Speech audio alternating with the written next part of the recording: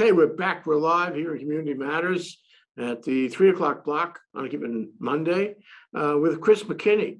Um, Chris McKinney is a journalist and an author and uh, a, a person who appreciates the media for those reasons.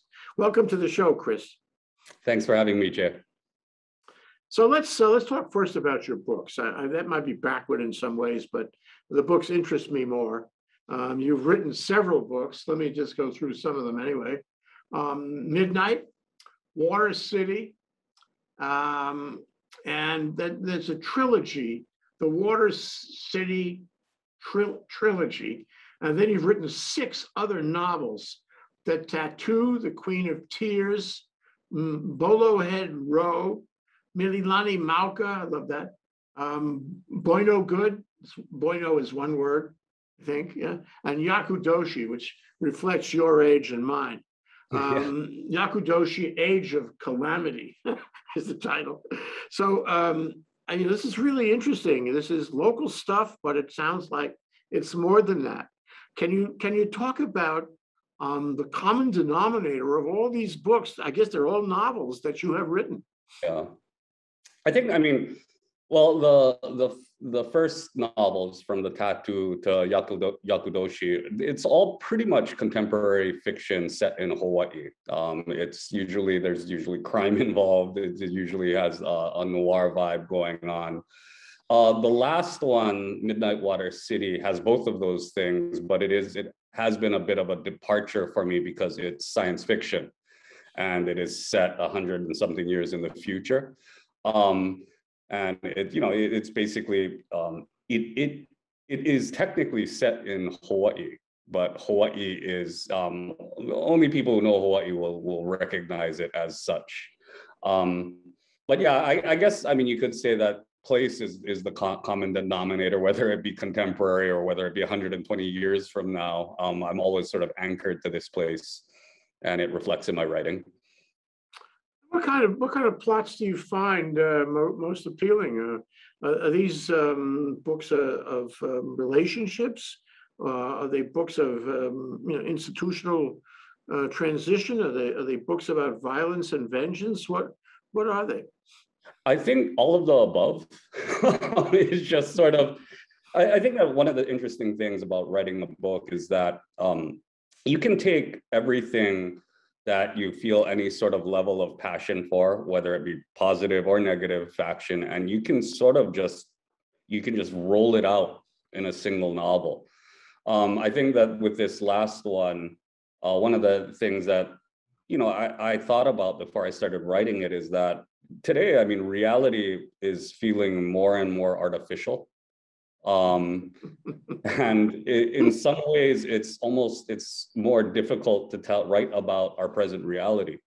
So it's sort of that's part of the reason why i i sort of turned to science fiction to speculative fiction because i just you know am, am i going to write scenes in which people are texting each other and posting stuff on tiktok? And i mean i just can't you know it just it just doesn't it just feels this it just our world now just feels we, we're just so disconnected yeah. So um, where do you get the ideas? Um, you know, do you go outside and uh, look at the sky? Where, where, where does that yeah. come come to you? um, I can never, I can never anticipate when they'll come to me or how. But for this last one, I was living, um, I was living in Kaka'ako at the time, and I was uh, sitting out on my balcony and looking at the Kaka'ako skyline, and I just want asked myself, I wonder what this would look like if you took the whole thing and turned it upside down and dropped it in the middle of the ocean. So that became sort of the, the genesis of, of this new setting that uh, I imagine where people live uh, floating on or live in buildings constructed under underwater. Yeah, let's take a minute. And you you you selected a paragraph that would um, sort of um, give us a handle on on the way that works. That world that you created. Yeah. Uh, I would like to hear that in this context. Yeah, sure. I'm flying at top speed above the ocean. Looking down at the pleats of breaking water, I'm amazed at how well organized something as chaotic as the sea can look like from afar. I break to the west side of the island and dip down to the well-lit coast.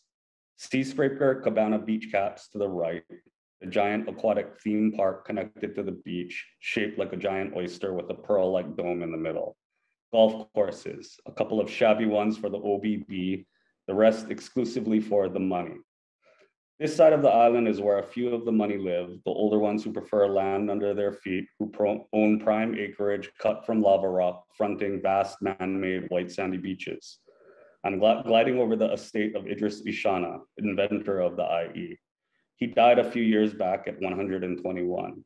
His ch- chateau is being converted to a museum, soon to be another stop on the Sa- Savior's Eye pilgrimage. It's next to the shuttle field where people transport to the continents and other faraway water cities. The whole scene probably looks like any point in the history of civilization, the past smeared with the present. The past smeared with the present. Uh, do you favor the past or do you, you favor the present?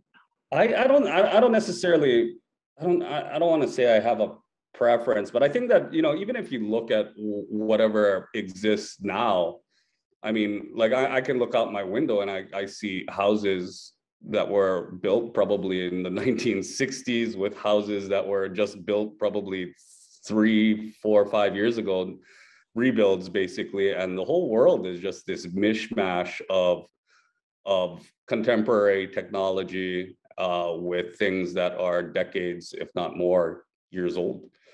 And I think that that's always reality. That's that you can you can look at whatever Constantinople looked like in the 1000. It'd be sort of the same. The sort of consistent thing is it's always the past smeared with the present. Boy, I, I can really relate to that. So now you, you, uh, you told me before the show that this is set in the year twenty forty-two, was it? 20, 2142. Twenty-one forty-two, sorry. Mhm. Um, and, and that means, uh, science fiction and all, and it's in Hawaii, but you never actually mention Hawaii. Yeah. Uh, on the other hand, if you listen to that prose carefully, you'll, you'll see it is Hawaii, know. Yeah, definitely. It reminds me of um, uh, The Descendants. Um, that book, the book about, um, you know, the, hmm, the, the, the, valley under the, um, the rule against perpetuities and, uh, Yeah. uh, What, what was his name? I forget, uh, the guy who played it. It was, it was a Hollywood, a George Clooney? Hollywood, yeah, Yeah, uh, yeah. Clooney. It, it was a Hollywood version of of Hawaii, uh, and it was fictitious, but it was rooted in you know in a lot of fact about Hawaii. And um, I always felt that um, if somebody wanted to make a movie, it should be a local filmmaker um, to really treat that properly. Uh, and that uh, Hawaii had a thousand stories like The Descendants that we could find and write and make movies of. And we, regrettably, we haven't done that. What about your books? Could they be movies? Um, yeah, I, I- suppose so. I, um, I sold the rights to a couple of them, so it's just, but you know, just, it's, they've never been, um, they've never reached the, um, the point of production.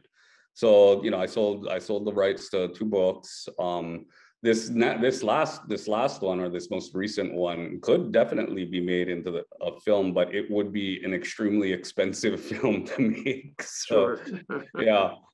So uh, we'll see what happens. So uh, what kind of reviews have you had, especially on the last one? Um, How, how much, um, you know, how much support have you had on it?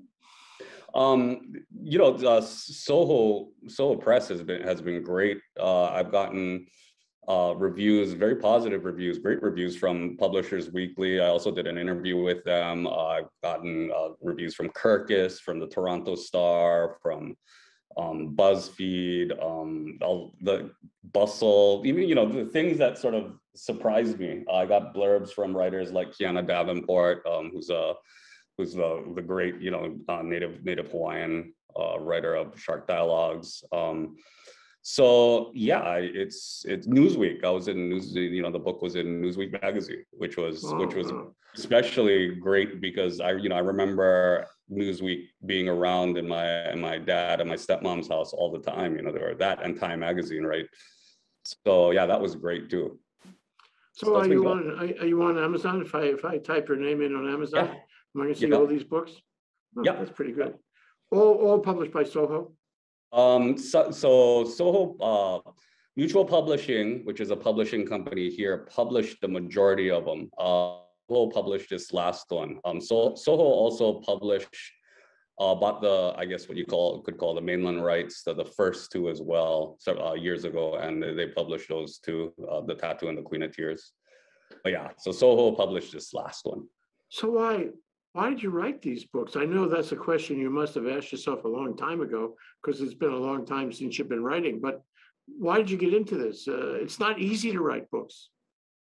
No, uh, it, it's, you know, part of it is, you know, part of it is luck, yeah, really. I mean, it is just sort of when I was in graduate school, um, years ago, I, my master's thesis was my first novel, The Tattoo, and I was fortunate enough to have, get that published.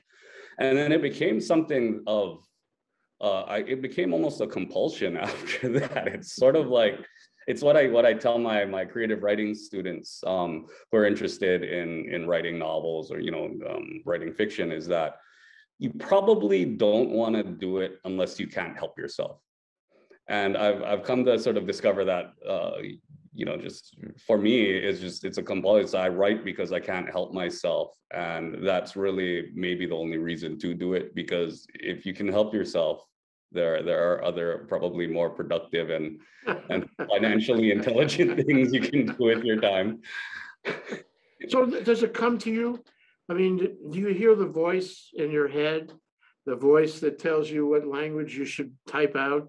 The voice that, mm, that, that, that, that, that, that is a sort of a stream of thoughts that keeps going? Uh, where's that? Do you have to work really hard at the language or does the language just come to you? I think that the language primarily comes from understanding uh, the main character. So it's sort of like once you once you can wrap your head around and, and imagine fully who this person is, then it's almost as if you're allowing them to simply tell the story in in their voice. So that's that to me that's a, a very important step is, is to really fully understand your main character and then once you do that, then the telling of the story actually becomes um, it, it, it- that makes it kind of flow. So once I have that, I can I can finish a draft of a book, you know, within a year typically. So, but that that is that is unnecessary and that is sort of a hard initial step to develop. Well, oh, well, do you develop the character in your mind before you write or do you develop the character while you're writing or both? I I develop the character before I write the the book. So so you know that's what the sort the gaps between my books um uh in part are is are is due to me developing um character for the next book.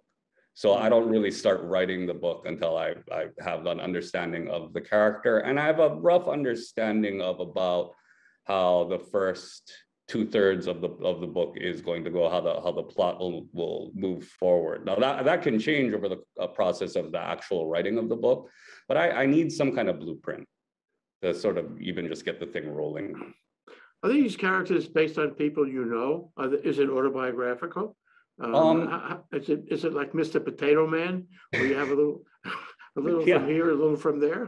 Yeah, I think you know. I, I think with, some of the early stuff, yes, and I think that that's that's sort of what happens when when you write novels is that it's kind of like music, right? It's a pop music. It's sort of uh, when an artist uh, debuts, a lot of their material is typically semi semi autobiographical in the beginning, but what happens is is that you spend that early, and um, eventually you come to discover that sometimes to, to your horror that you have to actually use your ma- imagination and completely make stuff up. So I think that I, I learned that years back. Um, I would say that as far as, you know, semi-autobiographical stuff is concerned, early on more, now, not really. Yeah. You said it took a, a year, and that was quick, to write, to write a novel. Mm-hmm. Um, why, why did it take you that long? Why didn't you just uh, hear the voice, write it out, and be done with it in, in ten days? I, yeah, I wish. Um, and I, you know, if I could do that, then I, you know, I'd be on my hundredth novel. But, um, but it, it's just i mean i do you know i there is there there needs to be quality control so I find that so for me, and you- it's sort of like you find your process, the process that works for you. And for me, the process is writing two to three hours every weekday. I and there have been times in the past where I've exceeded that and I've went bananas and, and written seven, eight hours. And I noticed uh, fairly quickly that the quality suffers. So it's sort of the quality of the writing is is good for at least uh, you know acceptable to me for let's say five pages you know three to five pages and once once i start cranking out 12 pages or 15 pages a day then the the quality of the writing suffers you gotta know wh- when I to agree. stand up. You gotta know when to stop. yeah This is important because if you're on a roll, you want to keep going. If you've, you know, been successful, you want to keep going, but, but you, but your, as your experience tells you that at some point, you got to draw the line pencils down. yeah part of discipline is sort of knowing when to stop too right Uh, ironically because you know you people think of discipline as always just the discipline of doing but there is a discipline of stopping as well Interesting. So of course, this is, uh, you know, directly related to your life as a journalist. Um, and can you tell us uh, what your career has been? You, you've named a lot of things you've done around letters and literacy, but what about the journalism part? Can you talk about that and how that relates to writing these books? I, I didn't, I mean, I, I wouldn't call myself uh, a journalist journalist. I mean, I, I did a column um, for midweek for about a year, I think maybe a little over a year. And then I, you know, I did other stuff, little um, freelance stuff here and there. Like I, I interviewed Daniel Dae Kim for Hawaii Luxury Magazine, you know, stuff like that, like just freelance stuff. And honestly, that stuff was more that it really didn't connect with my fiction writing. It was almost as if it was just fun stuff. It was, hey, can you, hey, Chris, do you want to do this? And I said, sure, that sounds fun. yeah, I'll do that. You know, review movies, uh, interview, you know, a celebrity. It, it was just, it's just stuff that sounded fun. So um, I did it. But it was, it was a total separate process from my fiction. Sure, and the interview thing is really important in journalism, isn't it? Yeah. You, you have to have the people skills to engage, to relate, to draw out, you know, your interviewee and so forth, which, uh, Yeah. which I think you do have. So, uh, but what about the writing style, the choice of words, the metaphors, the sentence structure, the punctuation, all that strunk and white kind of the rules of the language? Uh-huh. Doesn't one help you with the other? Um, I, you know, it's it's sort of with with because of the because of the um, room to move that I was given by Midweek and Hawaii Luxury, and uh, even with uh, the the Hawaii Review of Books. Um, it's sort of like I they just kind of let my use let me use my voice and let it let it rip. So it's just so it's actually it's just it's far easier to write that stuff than it is um, to write write fiction because I'm writing, you know, from the perspective of people who aren't me. But because because of the the sort of loose parameters that I, I was given um, when it comes to stuff like the Hawaii Review of Books, it- it's just yeah, just writing your voice, and so that that stuff was easy and fun to write. Um, the I fiction is not always be- fun. Do you think books, especially fiction books, have become more important in, you know, the public experience, the, the public conversation than they were? I mean, you know, you always wonder if, if kids are gonna, you know, come up, um, not giving a damn about the written word. It's so easy to do television, radio, social media, and, and reading for hours at a time. It's just not, not as much fun. So query, I mean, am I wrong about that? Are kids reading? Uh, is the electronic download of books helping? Um, are, are, are we still a book reading society or is it on decline? I, you know, it's sort of, I, I feel like, and, you know, even I've said this in the past, it, you know, it has always been my fear that maybe, maybe books are declining.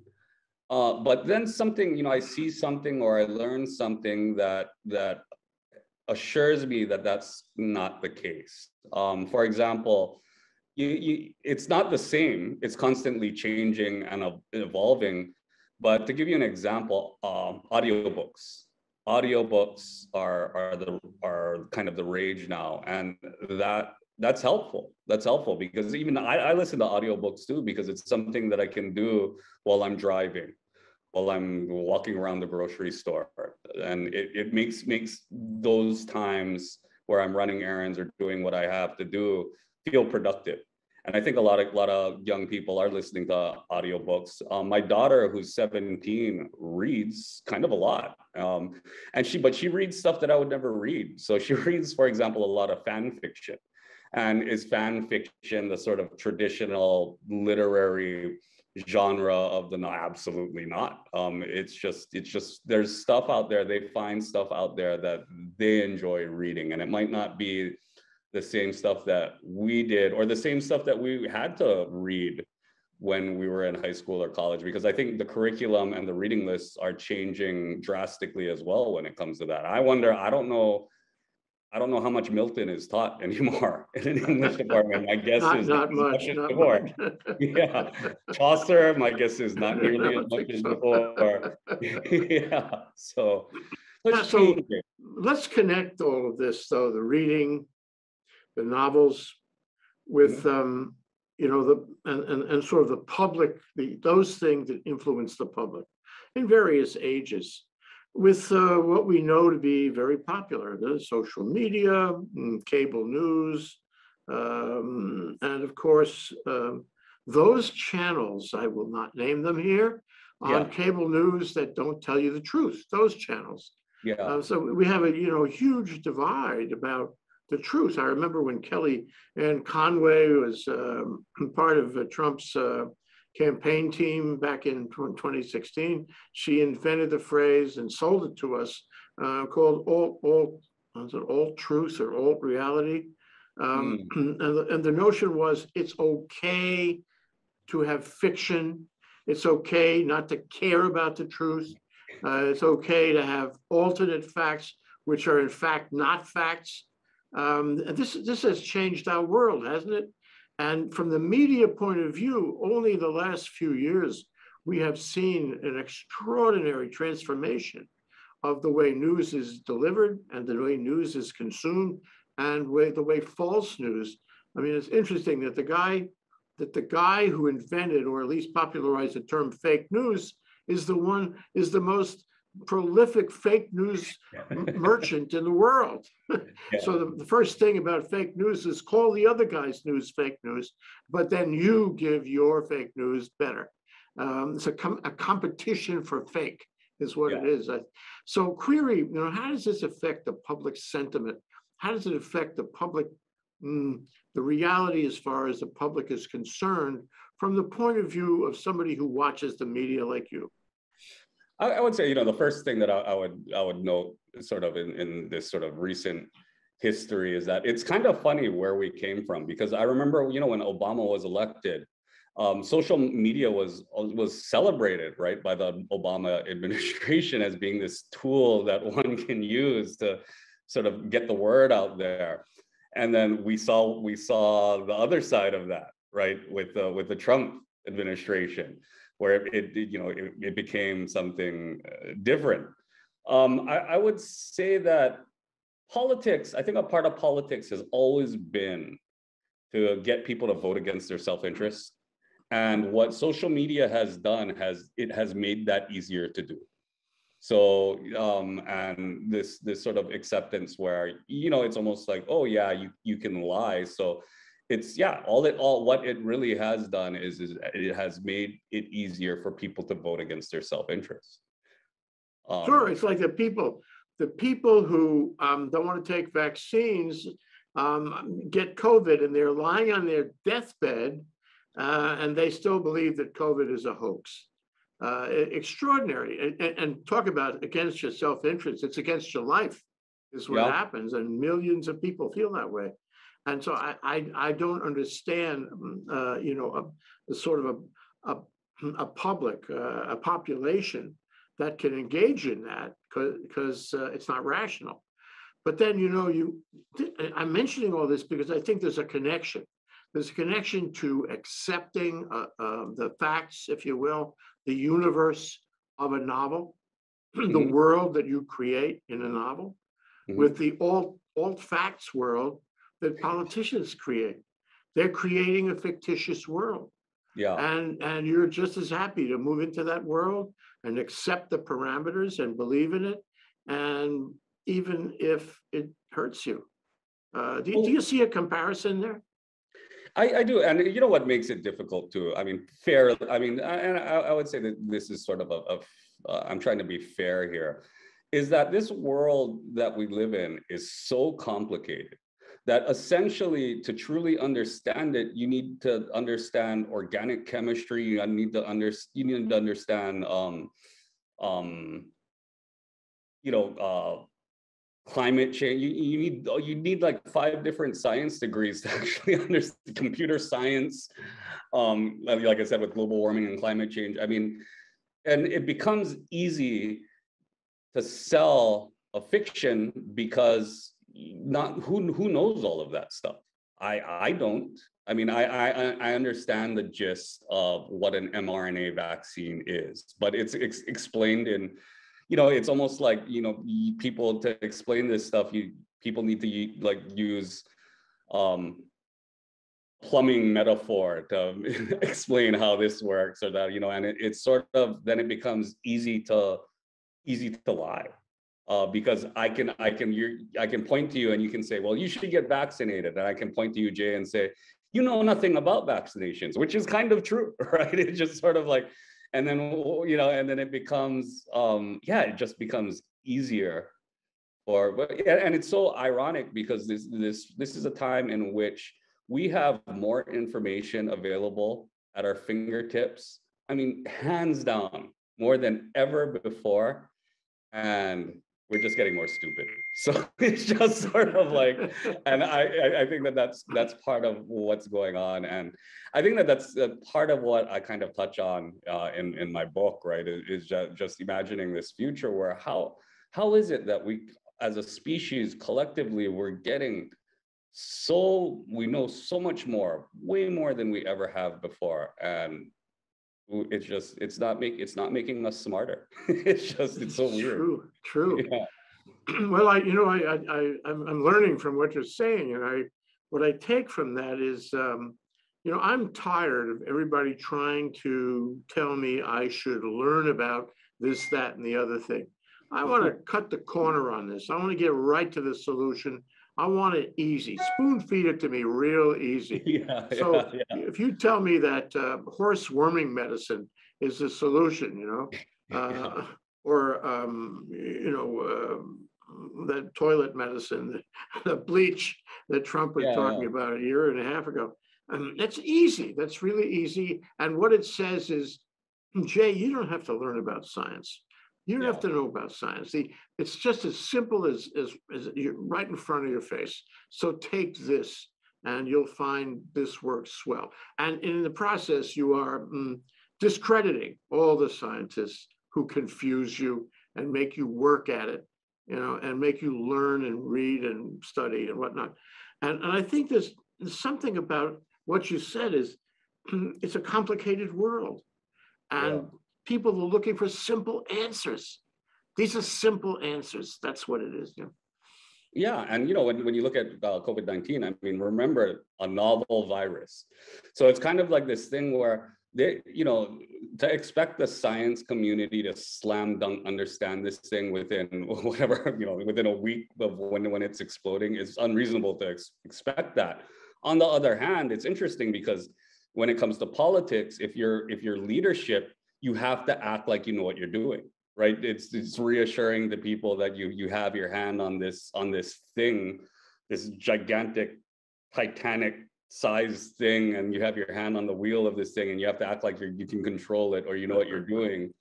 Uh, at the same time when you're dealing with something that's so that's new that nobody really knows every i mean it takes time to to dismantle this thing and to, to know what it is and then you make one mistake and then or, or two in your messaging or anything like that, then it, then it's over. Then people, you know, and then you know, then you have uh you have you have you know people people Crisis of confidence is what. Yeah. Yeah. yeah But, and then I think that's part of it too, that that, you know, it- the world is so complicated that you need teams. Before, that was a luxury. Now it's an absolute necessity. You need a team to help you. You need somebody who's an expert in this, this, this, and this. And your job as a leader is to put it together and make sense of it and manage, manage the thinking process among other Yeah. things. And um, any link in the team that's weak, uh, and the whole team fails potentially. Um, Yeah, Like, like in, is- go ahead.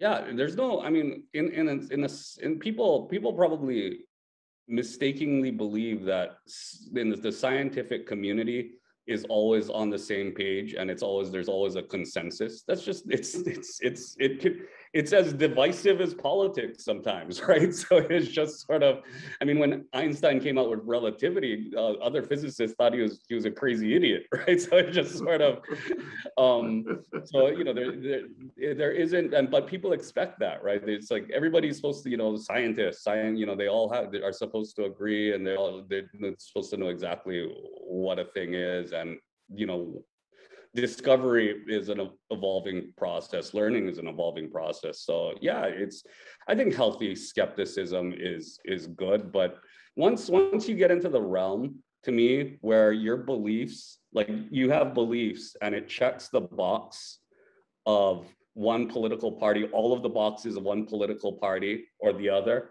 i think you've become indoctrinated.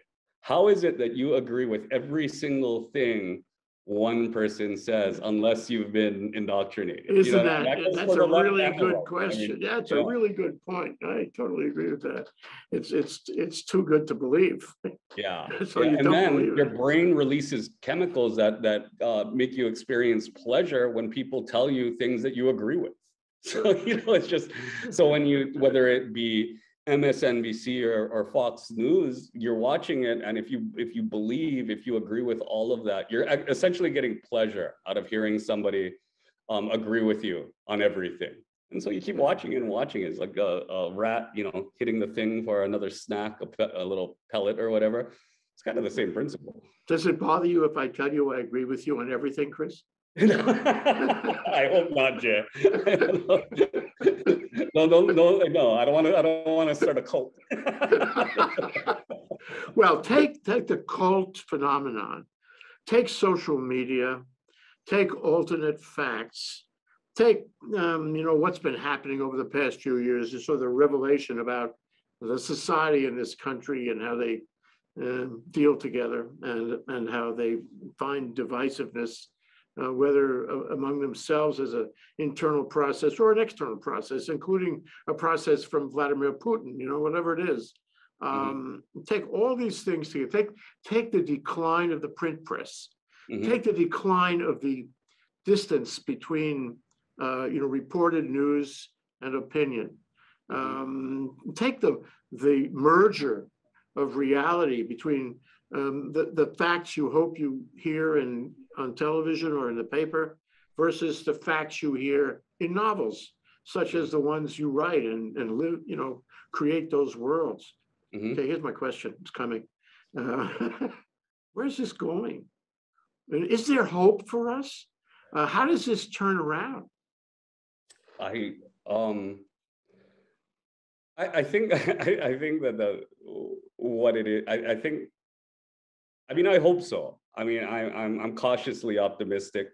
I would say that like like anything else i mean maybe we as a species every once in a while we need to get smacked around a bit right so it's just sort of so it's gonna it becomes this thing where you know and you, nobody wants anything bad to happen but you know and sometimes we're our worst enemies you know maybe maybe something will happen that sort of sort of shakes at least the majority of us. Not everybody is going to be on the same page probably ever. So it's just sort of you know just enough because and one of the things too one of the scary things is what we're really talking about in essence is we're talking about power.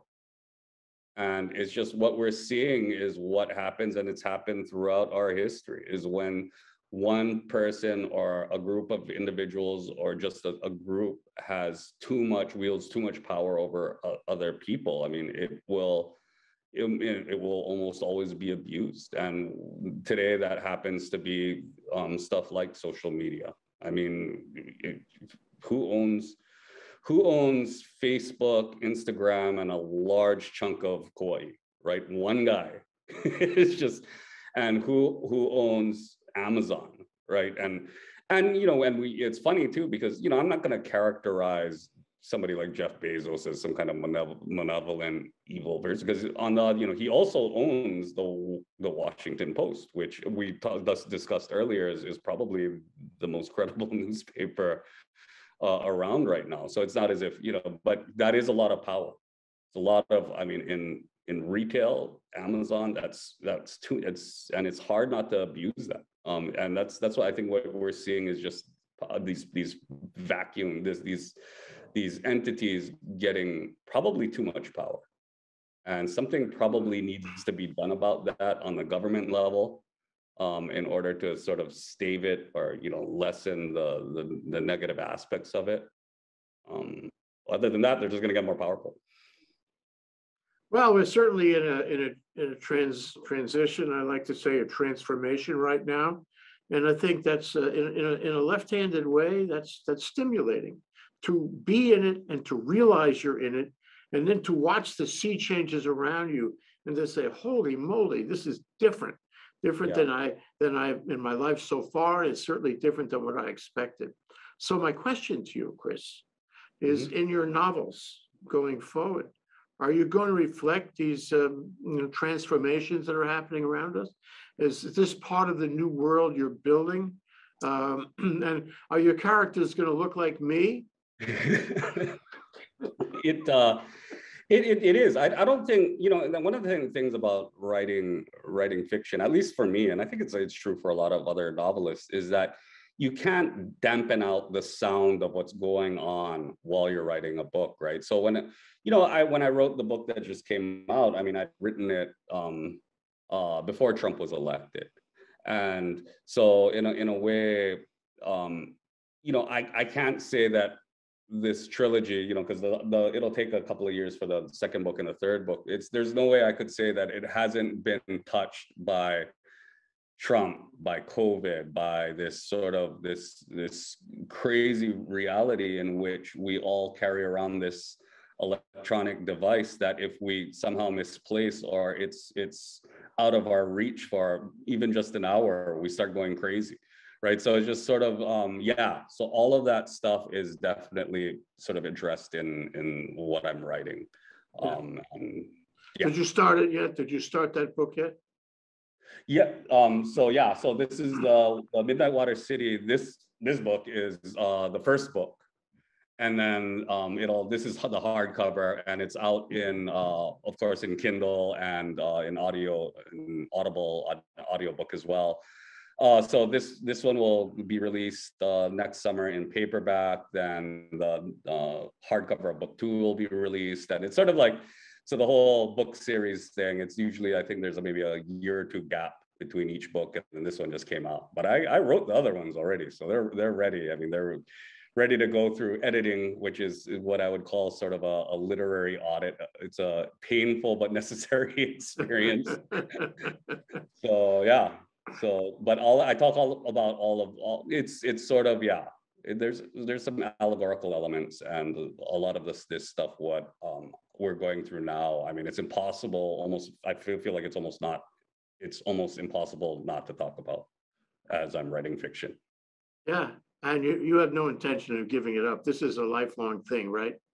Yeah you know can't help myself. So it's just it's i might as well sort of embrace that reality and yeah i'll, I'll as, as long as i have ideas I'll, I'll continue to do it. As long as people sort of offer me opportunities to freelance this or that and it interests me i'll, I'll definitely i definitely do it I, I love writing so yeah will you keep on teaching yeah i mean I, I teaching has has been great great to me I mean, because it's sort of like, um, you know, I, have taught for almost 20 years now. I mean, I've taught primarily online, um, you know, freshman composition and creative writing. And so what it what it has allowed me is this sort of flexibility as far as when I do things. So it's it's been great um, to have that and to be able to write and even have kids, you know, so I have two daughters, right? And, you know, that, that, that, a job with those, that kind of flexibility has been great for my writing career and for me as a parent. Yeah, So, Great and I like, I like the kids, so yeah, so it's, it's win, win, win. well, it's uh, Chris McKinney, a man of many seasons, a renaissance man in many ways, touched so many parts of the public conversation, really appreciate that. And I hope a lot of people write into you and, and tell you their story ideas and you can Yeah. include at least parts of them in your characters going forward. And we should, Yeah. we should look forward to see more of your, more of your prolific writing going forward. Uh, as a, as a kind of barometer, as a kind of canary in the coal mine, uh, as a, as a kind of bellwether for where, where we're all going. That's what I think you help us with. Thank, thank you, Jay. That, that's very kind of you to say. Thank you. Chris McKinney, author um, and media man. Aloha. Thanks. Thank you, Jay.